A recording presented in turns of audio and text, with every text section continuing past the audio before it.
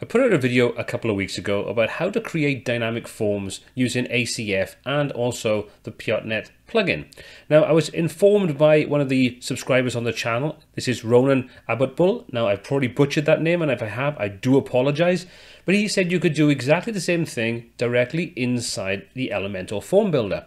Well, today I'm going to show you how to do that so you don't need another third-party plugin. We can dynamically generate the email address that we want to send a form to and we're going to use that with a previous video where I showed you how to create a business listing website. So this is the kind of thing we're going to do. This is one of the business listing entries and if we scroll down we now have a contact, the business name form, and then you can go through and you can fill that out. And then the email address for that specific business that's pulled from an advanced custom fields field will then be used to send the email. So if you're interested in finding out how you can use these all in combination together, stick around and I'll take you through the entire process right now. My name is Paul C. This is WP Tuts, the channel where I help you get more from WordPress.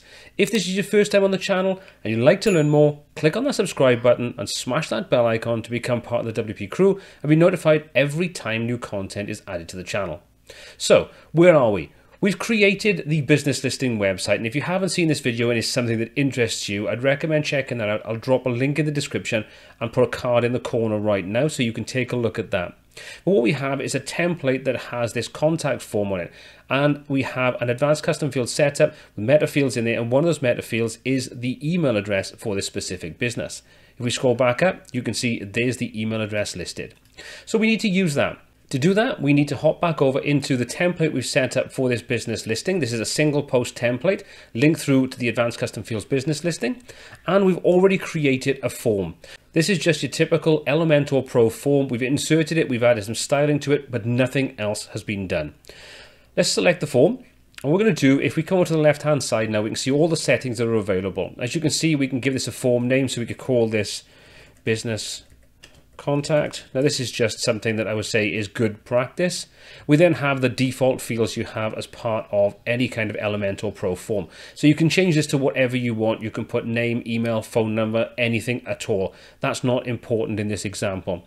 What we want to do though is come down to actions after submit. If we click to open that up, email is the default action after, after submit. Now you can change this, you can add to it what you can do whatever you want, but as long as that email is an option when you submit the form, we then have this email tab underneath. Now by default, when you open this up, you'll normally have the two fields pre-populated and it'll be the sort of email address that you've got that's either part of your setup or it'll be the default admin address. Not what we want. So we need to change that. We need to have a way of referencing the ACF field that has the email address we want to use. To do that is very easy. Come back up to our form field section and from there we're going to add a new item. The item type is going to be set to be hidden so we won't see it as part of a form. No one can fill this in. We're just going to pre-populate it with the information that we want. Jump over to the advanced section and in there you can see it says default value and ID.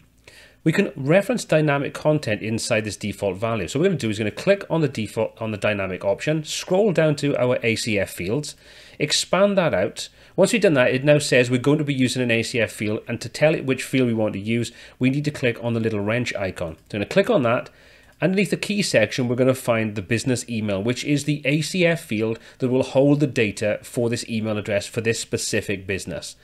Click on that. You can go to advanced if you want to, and we can say before and after. However, we don't need to do anything on there. We just basically set in what we want.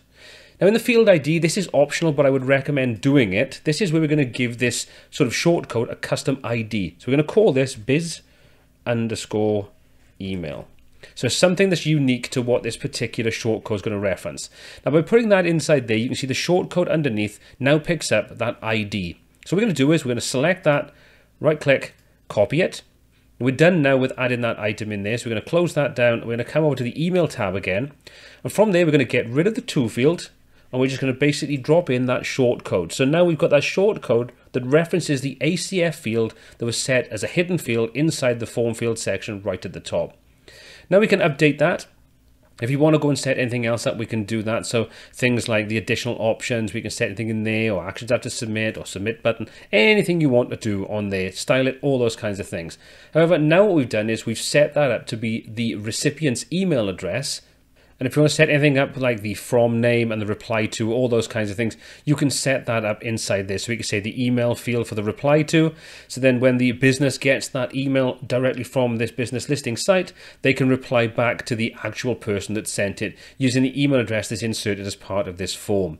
And that's how easy it is to use dynamic data pulled in from ACF directly inside your email forms using just Elementor Pro. A super simple technique that requires no more plugins. So a big thank you to Ronan for bringing that to my attention. You're a star.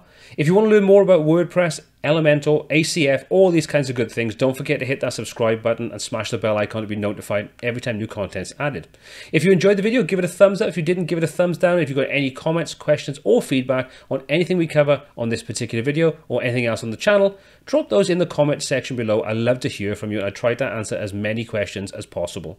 As always, my name has been Paul C. This has been WP Tuts, and until next time, take care.